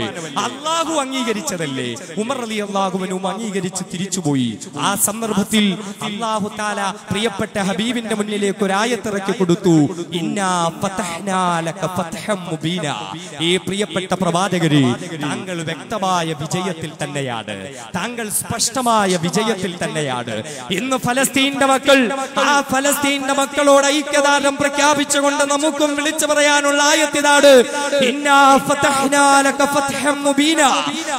തആല നിങ്ങളുടെ മുന്നിൽ വിജയത്തിന്റെ വഴി തുറന്നു തന്നിരിക്കുകയാണ്. ആ വിജയത്തിന്റെ മാർഗത്തിൽ ദിവസങ്ങൾ കൊണ്ട് ഫലസ്തീനെ ചുരുട്ടിക്കിട്ടാമെന്ന വ്യാമോഹത്തോടുകൂടി കടന്നു വന്ന ഇസ്രയേലിനെ പരാജയപ്പെടുത്തിയ ഫലസ്തീനോടൊപ്പം തന്നെയാണ് നമ്മളുള്ളത്. ഇത് നമ്മുടെ ഇസ്ലാമിക ബാധ്യതയാണ്. അതോടൊപ്പം തന്നെ ഇന്ത്യ രാജ്യത്ത് ജീവിക്കുന്ന നാം ഓരോരുത്തരുടെയും ബാധ്യതയാണ്. ഇത് ഇന്ത്യയുടെ പാരമ്പര്യമാണ്. ഫലസ്തീനോടൊപ്പം നിൽക്കുക. ഫലസ്തീൻ പോരാളികളോട് ഐക്യദാർഢ്യം പ്രഖ്യാപിക്കുക എന്നുള്ളത് ഇന്ത്യ രാജ്യത്തിന്റെ പാരമ്പര്യം തന്നെയാണ്. നമുക്കറിയാം ഈ രാജ്യത്തിന്റെ സ്വാതന്ത്ര്യ പോരാട്ടത്തിനോടൊപ്പം പോലും നിൽക്കാതെ ഈ രാജ്യത്തിന്റെ വിഷയത്തിൽ പോലും വൈദേശിക ശക്തികളുടെ ചെരുപ്പ് നക്കുകയും അടിവസ്ത്രം കഴുകി കൊടുക്കുകയും ചെയ്ത ഈ രാജ്യത്തെ ആർ എസ് എസും ബി ജെ പിയും അടക്കമുള്ള സംഘപരിവാരമുണ്ടല്ലോ. പ്രിയപ്പെട്ട സുഹൃത്ത് പി ഡി പിയുടെ വക്താവ് ബഹുമാനനായ ബഷീർ റിസ്വി ഇവിടെ പറഞ്ഞതുപോലെ ഇന്ത്യ രാജ്യത്ത് ജീവിച്ചിരിക്കുന്ന നമ്മെ സംബന്ധിച്ചിടത്തോളം ഫലസ്തീനോട് ഐക്യദാർഢ്യം പ്രഖ്യാപിക്കുമ്പോൾ ഏറ്റവും ആദ്യം നാം ശബ്ദമുയർത്തേണ്ടത് സംഘപരിവാരത്തിനെതിരെയാണ്. ആ സംഘപരിവാരം ഇന്ന് ഫലസ്തീനെതിരെ ഇസ്രയേലിന് ഐക്യദാർഢ്യം പ്രഖ്യാപിച്ചുകൊണ്ടിരിക്കുന്നു. പിറന്ന നാടിന്റെ വിമോചനത്തിന് പോലും അതിനോടൊപ്പം നിൽക്കാതെ വൈദേശികളുടെ ചെരുപ്പ് നക്കിയ അവരുടെ കാൽ നക്കിയ അവരുടെ അടിവസ്ത്രം കഴുകി കൊടുത്ത സംഘപരിവാരത്തെ സംബന്ധിച്ചിടത്തോളം നമുക്കൊരു കാര്യമേ പറയാനുള്ളൂ. സംഘപരിവാരം ഫലസ്തീനെതിരാണ് എങ്കിൽ അൽഹംദുലില്ലാ ഫലസ്തീൻ സത്യമാർഗത്തിൽ തന്നെയാണെന്ന് തിരിച്ചറിയാൻ മറ്റൊരു തെളിവും നമുക്ക് ആവശ്യമുള്ളതായിട്ടില്ല. ആർ എസ് എസ് ഫലസ്തീനെതിരാണ് എന്നുള്ളത് തന്നെ. ഫലസ്തീൻ സത്യമാർഗത്തിലാണ് എന്നുള്ളത് നമുക്ക് തെളിവാ. എന്ന് മാത്രമല്ല എന്റെ സഹോദരങ്ങൾ വിശുദ്ധ ഖുർആനിന്റെ വചനങ്ങൾ ഉരുവിട്ടുകൊണ്ട് രക്തസാക്ഷിത്വം ഒരു മോഹിച്ചുകൊണ്ട് പോരാട്ടം നടത്തുന്ന ഫലസ്തീൻ പോരാളികൾ അവർക്കൊരു പരിശുദ്ധിയുണ്ട് അവർക്കൊരു വിശുദ്ധിയുണ്ട്. അവരെ എങ്ങാണ് ആർ എസ് എസ് അവർക്ക് പിന്തുണ കൊടുത്താൽ പിന്നെ അവർക്ക് എന്ത് വിശുദ്ധിയെ അവകാശപ്പെടാനുള്ള? ആർ എസ് എസ് അങ്ങാണം പിന്തുണ കൊടുത്തു പോയാൽ പിന്നെ ഫലസ്തീൻ എന്ത് നിലയും വിലയുണ്ടെന്ന് നമുക്ക് പറയാനുള്ളത്? അതുകൊണ്ട് സംഘപരിവാരം അങ്ങനെ തന്നെ നിൽക്കും. പക്ഷേ അപ്പോഴും നമ്മൾ തിരിച്ചറിയേണ്ടത് ഇന്ത്യ രാജ്യത്തിന് ഒരു പാരമ്പര്യമുണ്ട്. ഇന്ത്യ എല്ലാ കാലത്തും ഫലസ്തീനോടൊപ്പം തന്നെ നിന്നതാ. ഇന്ത്യ രാജ്യത്തിന്റെ ബഹുമാനനായ രാഷ്ട്രപിതാവുണ്ട് മോഹൻദാസ് കരംചന്ദ് ഗാന്ധി. അതെ ഫലസ്തീന്റെ ഭൂമി കൈയടക്കാൻ വന്ന ഇസ്ര ഇസ്രയേലിനെ നോക്കി തീവ്രവാദികളെന്ന് ലോകത്തിന്റെ മുന്നിൽ വിളിച്ചു പറഞ്ഞ ബഹുമാനനായ മഹാത്മാഗാന്ധി ഉണ്ടല്ലോ. അദ്ദേഹം പറഞ്ഞത് ഫലസ്തീന്റെ മണ്ണ് ഫലസ്തീനികൾക്കുള്ളതാണ് ഇസ്രയേലിന് അവിടെ യാതൊരുവിധ അവകാശവുമില്ല. അതുകൊണ്ട് ഇസ്രയേൽ ഫലസ്തീന്റെ മണ്ണ് വിട്ടുപോകണമെന്ന് പറഞ്ഞ ബഹുമാനനായ നമ്മുടെ രാഷ്ട്രപിതാവ് മോഹൻദാസ് കരംചന്ദ് ഗാന്ധിയുടെ പാരമ്പര്യം പിൻപറ്റുന്ന അഭിമാന ബോധമുള്ള ഇന്ത്യക്കാരാണ് നാം ഓരോരുത്തരും. ഇന്ത്യ രാജ്യത്തിന്റെ ആദ്യത്തെ പ്രധാനമന്ത്രിയായ ചാച്ചാജി പണ്ഡിറ്റ് ജവഹർലാൽ നെഹ്റു ഉണ്ടല്ലോ. അദ്ദേഹം ഫലസ്തീനോടൊപ്പമായിരുന്നു. അദ്ദേഹം ഫലസ്തീൻ പോരാളികളോടൊപ്പമായിരുന്നു എങ്കിൽ ഇന്ത്യയുടെ ആ പൈതൃകത്തെയും പാരമ്പര്യത്തെയും പിന്തുടർന്നുകൊണ്ട് നാമും ഇന്ന് ഫലസ്തീനോടൊപ്പം തന്നെയാണ്. എന്റെ പ്രിയപ്പെട്ട സഹോദരങ്ങളെ തൊള്ളായിരത്തി എൺപത്തി എട്ടിന്റെ ഇന്നലകളിൽ ഫലസ്തീന്റെ വിമോചനത്തിന് വേണ്ടി പോരാട്ടം നടത്തുന്ന ഷെയ്ഖ് യാസർ ലോകം സമാധാനത്തിന്റെ സമ്മാനം കൊടുത്തിരുന്നതായ ഒരു സന്ദർഭമുണ്ടല്ലോ. ആ ബഹുമാനനായ യാസർ അറഫാത്തിനെ ഇന്ത്യയുടെ മണ്ണിലേക്ക് വിളിച്ചു ചേർത്ത് ഇന്ത്യയുടെ ആദ്യത്തെ പ്രധാനമന്ത്രിയായ ജവഹർലാൽ നെഹ്റുവിന്റെ പേരിൽ അവാർഡ് കൊടുത്ത് ആദരിച്ച പാരമ്പര്യമാ ഇന്ത്യ രാജ്യത്തിനുള്ളത്. ആ ഫലസ്തീനിലെ ധീര പോരാളികൾക്ക് വേണ്ടി തൊള്ളായിരത്തി എൺപതിന്റെ ഇന്നലകളിൽ ഇന്ത്യ രാജ്യവും ഇന്ത്യ ഭരണകൂടവും ഔദ്യോഗികമായി അംഗീകരിച്ച് ഫലസ്തീന്റെയും ഇന്ത്യയുടെയും ദേശീയ പതാകകളുടെ ചിത്രം ഒരുപോലെ വെച്ച് സ്റ്റാമ്പ് ഇറക്കിയിട്ട് ആ ഫലസ്തീന് വേണ്ടി കോടാനും കോടി രൂപ പിരിച്ചു കൊടുത്ത പാരമ്പര്യമാ ഇന്ത്യ രാജ്യത്തിനുള്ളത്. നിങ്ങൾക്കറിയോ? ഇന്ത്യയുടെ ബഹുമാനരായ പ്രധാനമന്ത്രി ശ്രീമതി ഇന്ദിരാഗാന്ധി പോലും എന്റെ പ്രിയപ്പെട്ട സഹോദരങ്ങളെ ഫലസ്തീനോടൊപ്പമായിരുന്നു. എത്രത്തോളം എന്നാൽ ബി ജെ പിയുടെ പ്രധാനമന്ത്രി അടൽ ബിഹാരി വാജ്പേയി പോലും ഈ രാജ്യത്തിന്റെ പാരമ്പര്യത്തോടൊപ്പം നിന്നുകൊണ്ട് ഫലസ്തീനോടൊപ്പം മാത്രമായിരുന്നു നിന്നിരുന്നത്. ലോകത്ത് ഫലസ്തീനോട് ഐക്യദാർഢ്യം പ്രഖ്യാ- പ്രഖ്യാപിക്കാൻ വേണ്ടി ഐക്യരാഷ്ട്രസഭയിൽ നിന്ന് ആവശ്യങ്ങൾ ഉയർത്തപ്പെട്ടുകൊണ്ടിരിക്കുമ്പോൾ അറബ് രാജ്യങ്ങളൊക്കെ ഫലസ്തീനോടൊപ്പം നിന്നപ്പോൾ അറബ് രാജ്യമല്ലാത്ത ഒരു രാജ്യം ആദ്യമായി ഫലസ്തീനോട് ഉപവൈക്യദാർഢ്യം പ്രഖ്യാപിച്ചത്? ഞാനും നിങ്ങളും ജീവിക്കുന്ന ഇന്ത്യ മഹാരാജ്യമാ എന്റെ പ്രിയപ്പെട്ട സഹോദരങ്ങളെ മറക്കരുത്. എന്നാൽ നാം ഒന്ന് തിരിച്ചറിയണം ഇന്ത്യയ്ക്ക് സ്വാതന്ത്ര്യം കിട്ടി എത്രയോ പ്രധാനമന്ത്രിമാർ ഇവിടെ കടന്നുപോയിട്ടുണ്ട്. അതിൽ ഒരു പ്രധാനമന്ത്രി ഒരു പ്രധാനമന്ത്രിയും എന്റെ പ്രിയപ്പെട്ട സഹോദരങ്ങളെ ഇസ്രയേൽ എന്ന് പറയുന്ന ജൂതന്മാരുടെ അടുക്കൽ പോയിട്ടില്ല. അവരോട് ഐക്യദാർഢ്യം പ്രഖ്യാപിച്ചിട്ടില്ല. മറിച്ച് അവരൊക്കെ ഫലസ്തീനോടൊപ്പമായിരുന്നു. പക്ഷേ ഇന്ത്യയുടെ ചരിത്രത്തിൽ ആദ്യമായി ഒരു പ്രധാനമന്ത്രി ഇസ്രയേലിന്റെ മണ്ണിലേക്ക് പോയിട്ടുണ്ട് എങ്കിൽ ഫലസ്തീൻ സന്ദർശിക്കാതെ തിരിച്ചു വന്നിട്ടുണ്ട് എങ്കിൽ അത് ആർ എസ് എസിന് വേണ്ടി ഹിന്ദു രാഷ്ട്രം സ്ഥാപിക്കുന്നതിന് വേണ്ടി പണിയെടുത്തുകൊണ്ടിരിക്കുന്ന ഇന്ത്യ രാജ്യത്തിന്റെ നിലവിലുള്ള പ്രധാനമന്ത്രി നരേന്ദ്രമോദി മാത്രമാണ്. നരേന്ദ്രമോദി മാത്രമാണ്. അദ്ദേഹത്തിന് അദ്ദേഹം പ്രതിനിധാനം ചെയ്യുന്ന രാഷ്ട്രീയ പാർട്ടിക്ക് അദ്ദേഹം പ്രതിനിധാനം ചെയ്യുന്ന ലോകങ്ങളുടെ ഏറ്റവും വലിയ ഭീകര പ്രസ്ഥാനമായ ആർ എസ് എസിന് ഒരിക്കലും വിബോധന പോരാളികളോടൊപ്പം നിൽക്കാൻ പറ്റില്ല സഹോദരങ്ങളെ. സ്വാതന്ത്ര്യ പോരാളികളോടൊപ്പം നിൽക്കാൻ പറ്റില്ല എന്റെ പ്രിയപ്പെട്ട സഹോദരങ്ങളെ. അതുകൊണ്ട് നാം തിരിച്ചറിയുക നാം ഇന്ത്യ രാജ്യത്തിന്റെ പാരമ്പര്യം മുറുകെ പിടിച്ചു ഈ രാജ്യത്തിന്റെ പൈതൃകം മുറുകെ പിടിച്ചു ഈ രാജ്യത്തിന്റെ സംസ്കാരം മുറുകെ പിടിച്ചു നാം ഒക്കെയും ഫലസ്തീനുകളോടൊപ്പം തന്നെയാ. ഒരു കാര്യം നിങ്ങൾ തിരിച്ചറിയുക. ഫലസ്തീനിൽ പതിനായിരക്കണക്കിന് ആളുകൾ രക്തസാക്ഷികളാക്കപ്പെട്ടുണ്ട് അതൊരിക്കലും നഷ്ടമാണെന്ന് നമ്മൾ കരുതല്ലേ? അതൊരിക്കലും അവർക്ക് സംഭവിച്ച നാശമാണെന്ന് നമ്മൾ കരുതല്ലേ? അള്ളാഹുവിന്റെ ഖുർആൻ പറഞ്ഞ ഒരു വാക്കുണ്ട് നമുക്കൊക്കെ കൃത്യമായി അറിയാം. ഒരിക്കലും അള്ളാഹുവിന്റെ മാർഗത്തിൽ മരണപ്പെട്ടവർ അവർ ശവങ്ങളായി പോയി കൊല്ലപ്പെട്ടു പോയി എന്ന് നിങ്ങൾ പറയല്ലേ? അള്ളാഹുവിന്റെ അടുക്കൽ അവർ ജീവിച്ചിരിക്കുന്നവരാ. അള്ളാഹുവിന്റെ പ്രിയപ്പെട്ട പ്രവാചകർ പഠിപ്പിച്ചതെന്താ? സത്യത്തിന് വേണ്ടി പോരാട്ടം നടത്തുന്ന ഒരു രക്തസാക്ഷി. ആ രക്തസാക്ഷി മരണപ്പെടുന്ന സന്ദർഭത്തിൽ അവന്റെ ശരീരത്തിൽ ഒരു ഉറുമ്പ് കടിക്കുന്ന വേദനയ്ക്കപ്പുറം ഒരു വേദന അവൻ അനുഭവപ്പെടില്ല. ആ ശരീരത്തിൽ നിന്നും ഒരു തുള്ളി രക്തം പുറത്തേക്ക് വന്നാൽ ഒരൊറ്റ തുള്ളി രക്തം കൊണ്ട് സർവ പാപങ്ങളും പൊറുക്കപ്പെട്ടിരിക്കുന്നു. ശേഷം ശരീരത്തിൽ നിന്നും നിർഗളിക്കുന്ന ഓരോ തുള്ളി രക്തത്തിനനുസരിച്ചും സ്വർഗത്തിൽ അവന്റെ സ്ഥാനം ഉയർത്തപ്പെടുന്നു. അള്ളാഹു സ്വർഗത്തിൽ അവന് കൊടുക്കുന്നതായ സ്ഥാനമാനങ്ങൾ മരണത്തിന്റെ സന്ദർഭത്തിൽ കാണിച്ചു കൊടുക്കുന്നു. ഒരു രക്തസാക്ഷിക്ക് കബറിൽ ചോദ്യോത്തരങ്ങൾ നേരിടേണ്ടി വരുന്നില്ല. ഒരു രക്തസാക്ഷിക്ക് ലോകാവസാനത്തിന്റെ ഭയ ഭയ- ഭയവിഹ്വലമായ അവസ്ഥകൾ നേരിടേണ്ടി വരുന്നില്ല. അള്ളാഹുവിന്റെ മഹസറയിലേക്ക് ഓരോരുത്തരും ഹാജരാക്കപ്പെടുന്ന ഭീതിജനകമായ സന്ദർഭമുണ്ടല്ലോ. അള്ളാഹുവിന്റെ റസൂൽ പഠിപ്പിച്ചില്ലേ പ്രവാചകന്മാര് പോലും ഭയപ്പെട്ടു പോകുന്ന സന്ദർഭമാ. എന്നാൽ ആ സമയത്ത് രക്തസാക്ഷികൾ ഹാജരാക്കപ്പെടും. ഭൂമി ലോകത്ത് അവരെങ്ങനെയാണോ വധിക്കപ്പെട്ടത്? അവരുടെ ശരീരത്തേക്ക് വൈറ്റ് ഫോസ്ഫറസ് നിറച്ച മിസൈലുകൾ വന്ന് വീണ് ശരീരം കഷണം കഷണമായി തെറിച്ചുപോയവർ. ആ രക്തമൊലിപ്പിക്കുന്ന പുകപടലങ്ങളുമായുള്ള ശരീരങ്ങളുമായി ഹാജരാക്കപ്പെടും. ഫലസ്തീനിലെ മക്കൾ ഹാജരാക്കപ്പെടുകയാ. ഫലസ്തീനിലെ പോരാളികൾ ഹാജരാക്കപ്പെടുകയാ. ഫലസ്തീനിലെ സഹോദരിമാർ ഹാജരാക്കപ്പെടുകയാ. അവരങ്ങനെ അള്ളാഹു റബ്ബുൽ ഇസ്സത്തിന്റെ മുന്നിലേക്ക് വരുമ്പോ എല്ലാവരും പടച്ചവന്റെ മുഖത്തേക്കൊന്ന് നോക്കാൻ പോലും ഭയപ്പെട്ടു പോകുന്ന സന്ദർഭത്തിൽ പ്രവാചകൻ പറയുന്നു. എന്നാൽ അതിജീവനത്തിന്റെ പോരാട്ടം നടത്തി രക്തസാക്ഷികൾ ഫലസ്തീന്റെയും വെസ്റ്റ് ബാങ്കിന്റെയും അഗസയുടെയും മസ്ജിദുൽ അഖ്സയുടെയും ഭാഗത്തു നിന്ന് രക്തസാക്ഷിത്വം വരിച്ചവരുണ്ടല്ലോ. അല്ലാഹു തആല അവരെ നോക്കി പുഞ്ചിരിക്കുകയാ. പുഞ്ചിരിച്ചുകൊണ്ട് പടച്ച തമ്പുരാൻ അവരെ സ്വീകരിക്കുകയാ. വിചാരണയില്ലാതെ അള്ളാഹു അവർക്ക് സ്വർഗം കൊടുക്കുകയാ. വയൂളഉ അലാ താജുൽ വഖാർ. ആ രക്തസാക്ഷികൾക്ക് പടച്ച തമ്പുരാൻ വഖാരിയത്തിന്റെ കിരീടം വെച്ച് കൊടുക്കുകയാ. അതിൽ വെച്ചിരിക്കുന്ന ഒരൊറ്റ മുത്ത് നേടിയെടുക്കാൻ ഈ ലോകവും അതിലുള്ള സർവസ്വവും കൊടുത്താലും ഒരാൾക്കും സാധ്യമല്ല.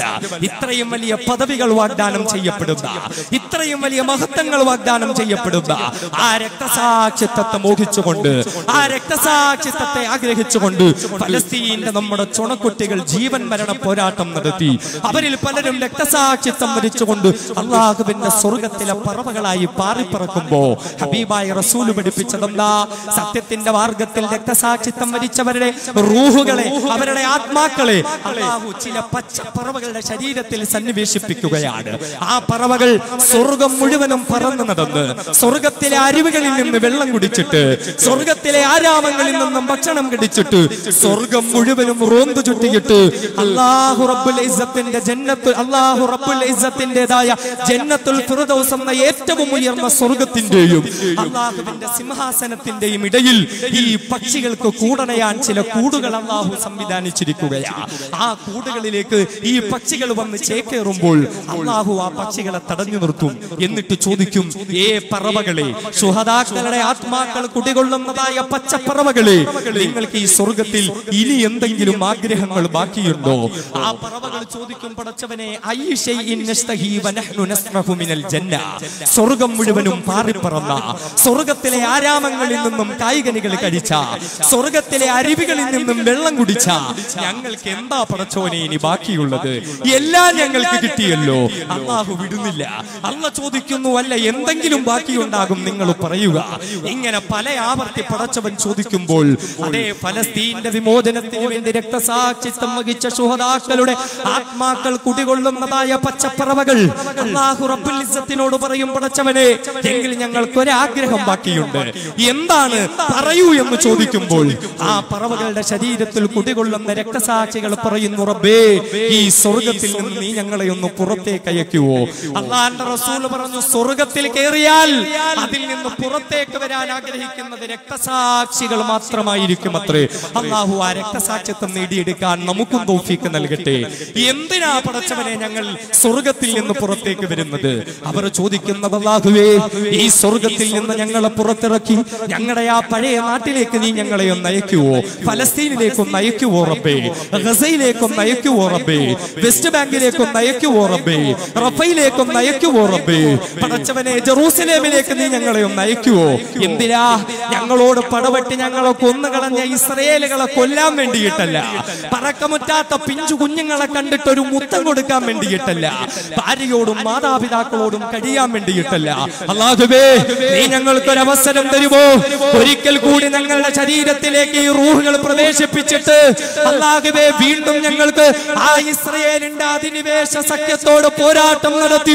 ഒരിക്കലല്ല രണ്ടല്ല പത്ത് തവണ ഒരിക്കൽ കൂടി നിന്റെ മാർഗത്തിൽ രക്തസാക്ഷിത്വം മരിക്കാൻ ഞങ്ങൾക്ക് അവസരം പെരുമാറപ്പേ എന്ന് പലസ്തീനിലെ രക്തസാക്ഷികൾ അള്ളാഹുറപ്പിൽ റബ്ബുൽ ഇസ്സത്തിനോട് ചോദിക്കുകയാ അതുകൊണ്ട് നമ്മൾ ആരും തെറ്റിദ്ധരിക്കേണ്ട. അവർക്ക് നഷ്ടം സംഭവിച്ചു എന്ന് അവർ ലാഭത്തിൽ തന്നെയാണ്. അവർ വിജയത്തിൽ തന്നെയാണ്. ആ വിജയമാർഗത്തിലൂടെ മുന്നോട്ട് പോകാൻ നമുക്ക് തൗഫീഖ് നൽകി അനുഗ്രഹിക്കുമാറാകട്ടെ എന്ന പ്രാർത്ഥനയോടെ മർദ്ദിത പീഡിത ജനവിഭാഗത്തോടുള്ള നമ്മുടെ ഈ ഒരു ഐക്യദാർഢ്യം എല്ലാ കാലത്തും എല്ലാ മർദ്ദിതരോടൊപ്പം നിലനിർത്താൻ ഇതേപോലെ ഐക്യപ്പെടാൻ നമുക്ക് തൗഫീഖ് നൽകുമാറാകട്ടെ. ഈ കൂടിയിരിക്കുന്ന പാവപ്പെട്ട ഉമ്മമാർ പ്ലക്കാർഡ് പിടിച്ചുകൊണ്ട് ഫലസ്തീന്റെ കൊടി പിടിച്ചുകൊണ്ട് ഇതിലൂടെ ഓടി നടക്കുന്ന നടക്കുന്ന കുഞ്ഞുമക്കൾ ഈ സദസ്സിനെ ധന്യമാക്കി മണിക്കൂറുകളായി ഇവിടെ കാത്തിരിക്കുന്ന പ്രിയപ്പെട്ട വിശ്വാസി സഹോദരങ്ങളുണ്ട് ആലിമീങ്ങളുണ്ട് പ്രിയപ്പെട്ട വിദ്യാർത്ഥികളുണ്ട്. അലഹമില്ല അള്ളാഹു എല്ലാവരെയും അനുഗ്രഹിക്കട്ടെ. ഇവിടെ ഒരുക്കപ്പെട്ടിരിക്കുന്ന സ്റ്റാളുകൾ എസ് ഐ ഒയുടെയും ജി ഐ ഒയുടെയും അതേപോലെ തന്നെ ആലിയ ഇന്റർനാഷണൽ അക്കാദമി ദാറുൽ ഹിക്കം അതേപോലെ അതുപോലുള്ള പല സ്ഥാനങ്ങൾ പേരുകൾ ഞാൻ പറയുന്നില്ല ഇക്ര ഉൾപ്പെടെയുള്ള അലഹമില്ല ആ സ്റ്റാളുകൾ കൊണ്ടു വളരെ സന്തോഷം തോന്നി. നമ്മുടെ മക്കൾ പഠിക്കട്ടെ നമ്മുടെ മക്കൾ ജീവിക്കട്ടെ നമ്മുടെ മക്കൾ വിശ്വസിക്കട്ടെ. സത്യത്തിന് വേണ്ടി പോരാട്ടം നടത്തലാണ് ഞങ്ങളുടെ ധർമ്മമെന്ന തിരിച്ചറിവ്. ഒരുപക്ഷെ നാളെ ഇന്ത്യയുടെ മണ്ണിൽ ഫാസിസം അഴിഞ്ഞാടുമ്പോൾ പോലും അബൂ ഉബൈദമാർക്ക് ജന്മം കൊടുക്കുന്ന മഹത്വക്കായ സലാഹുദ്ദീൻ അയ്യൂബിമാർക്ക് ജന്മം കൊടുക്കുന്ന അബ്ദുൽ അസീസ് റംദീസിമാർക്ക് ജന്മം കൊടുക്കുന്ന യാസർ റഫാത്ത്മാർക്ക് ജന്മം കൊടുക്കുന്ന ഷെയ്ഖ് യാസീൻമാർക്ക് ജന്മം കൊടുക്കുന്ന നൂറുദ്ദീൻ സംഗിമാർക്കും ഇമാബുദ്ദീൻ സംഗിമാർക്കും ജന്മം കൊടുക്കുന്ന മക്കളായി നമ്മുടെ മക്കൾ മാറട്ടെ. എല്ലാവർക്കും അഭിവാദ്യം അർപ്പിക്കുകയാണ്. ആശംസകൾ അർപ്പിക്കുകയാണ്. നിങ്ങളോടൊപ്പം അല്പസമയം ചെലവഴിക്കാൻ വിനീതനം അവസരം നൽകിയ അള്ളാഹു റബ്ബുൽ ഇസ്സത്തിന് ശുക്ർ രേഖപ്പെടുത്തിക്കൊണ്ട് വിനീതനെ ഈ പരിപാടിയുടെ ഭാഗമാകാൻ വേണ്ടി ക്ഷണിച്ച ഈ ഫലസ്തീൻ ഐക്യദാർഢ്യ സമിതിയുടെ എല്ലാ അണിയറ പ്രവർത്തകർക്കും എല്ലാ സഹോദരി സഹോദരന്മാർക്കും ഭാവുകങ്ങൾ നേരുന്നു. നിങ്ങൾക്ക് ഓരോരുത്തർക്കും കൃതജ്ഞത അർപ്പിക്കുന്നു നിങ്ങളുടെ വിലയേറിയ ദുവാക്കളിൽ എന്നും എന്റെ സഹോദരങ്ങളെ ഫലസ്തീൻ ഉണ്ടാകണം അടിച്ചപ്പുറത്തപ്പെടുന്ന മനുഷ്യ മക്കൾ ഉണ്ടാകണം ജയിലറകളിൽ നിരപരാധികളായി കഴിയുന്നവരുണ്ടാകണം. അതോടൊപ്പം ഈ വിനീതനെയും എന്റെ കുടുംബത്തെയും എന്റെ ദീനീ പ്രവർത്തനങ്ങളെയും മാതാപിതാക്കളെയും പ്രിയപ്പെട്ട ഭാര്യയും മക്കളെയും ഒക്കെ നിങ്ങൾ ഓർക്കണം എന്ന് വസീയത്ത് ചെയ്തുകൊണ്ട് ഓരോരുത്തരെയും വിജയിപ്പിക്കുമാറാകട്ടെ. അസ്സലാമു അലൈക്കും.